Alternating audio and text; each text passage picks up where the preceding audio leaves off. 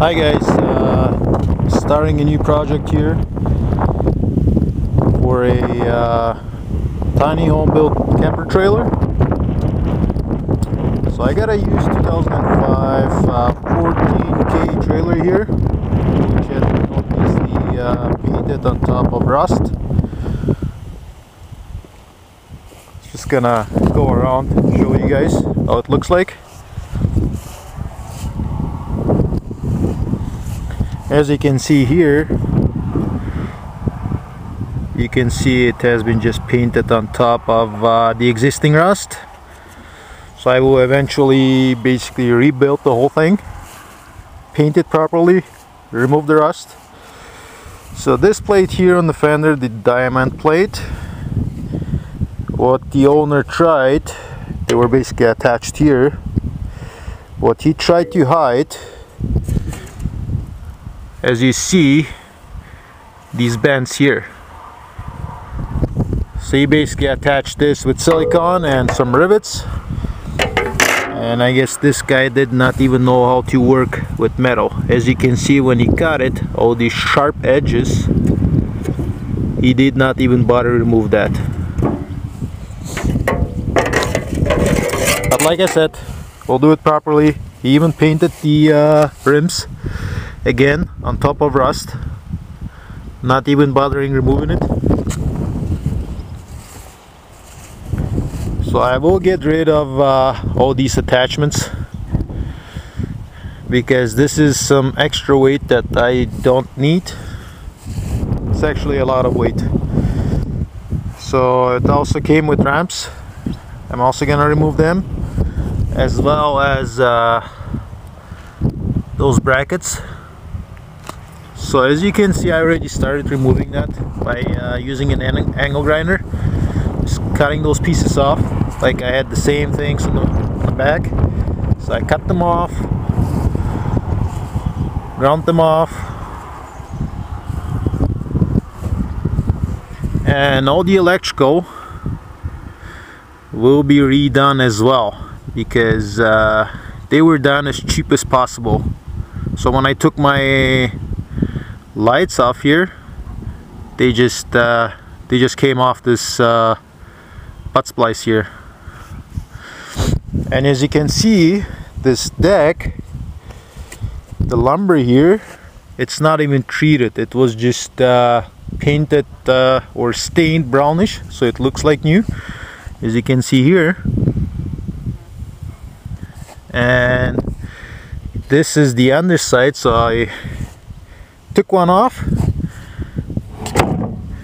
And as you see some attachments stayed so the wood is basically rotten. There we go.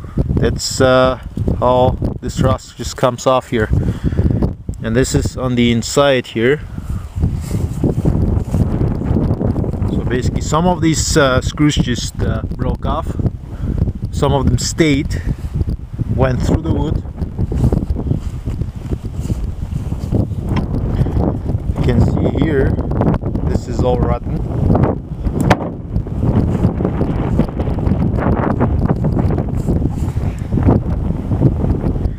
I'm also gonna replace that as well. And then uh, the worst thing that this guy did so there's a gap. I'm assuming at one point he replaced the fender. And it did it did not line up with the bracket here. So there's a gap he just used one of those uh, automotive uh, windshield uh, glue and put it in place. That's the worst thing you can do ever. So same here. There's a gap. So eventually I'm gonna fix it. This bracket is bent as well. And I will have to weld this spot here as well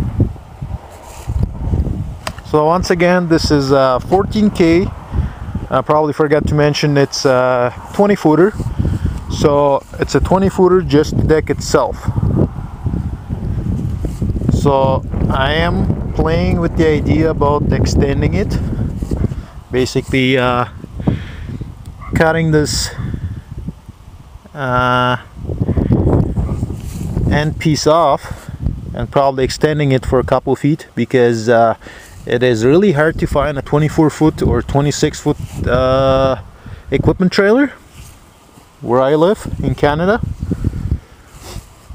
So yeah all this is gonna come off. All that paint all those expensive stickers just because it has not been done properly in the first place. But the reason I got it if you wonder you're probably saying well why did I bother getting it? Well because it was the cheapest trailer on the market.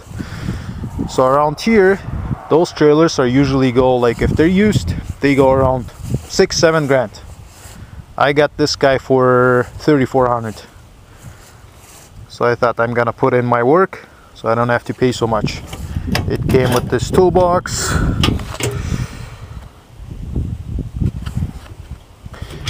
Again everything has been fixed just uh, as cheap as possible. So look at this like this this box that's where the brake battery sits. It's unbelievable. Like if you look some of this work. Again I don't think it has been uh, uh, manufactured like this. It's just uh, all these add-ons from uh, those uh, do-it-yourself guys that have no idea what they're doing.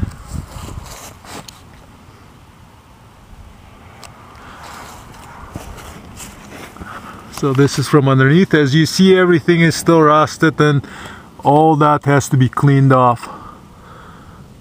And uh, I'm gonna apply rust proof uh, paint.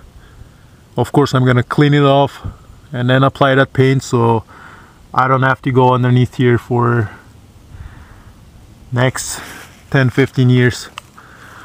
Again this there's a, there's a bracket here for something. I don't know what it is for but again it's uh, extra weight that I don't need. So anything useless will be removed. Even this this uh, stop uh, bar or piece whatever they call it basically preventing equipment from rolling forward. This will be removed as well. That's gonna give me extra room here for my uh, tiny home. As well as eventually I'm gonna tiny home is gonna go probably uh, flush with defenders. That's gonna give me another uh, another foot or so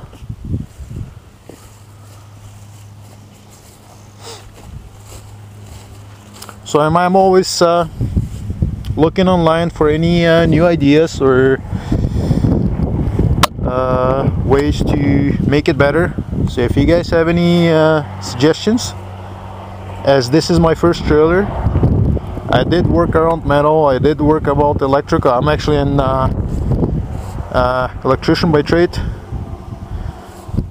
And I did wood with framing and stuff like that in the construction. So if you guys uh, think I might need to know something or something I could do better, please let me know. Okay, I'll keep you guys posted as soon as I get uh, some changes. As of right now, I did use my four and a half inch angle grinder Makita and I do have problems going all the way through here. So I went halfway through and then I used uh, a hammer hammered it off basically broke off the belt.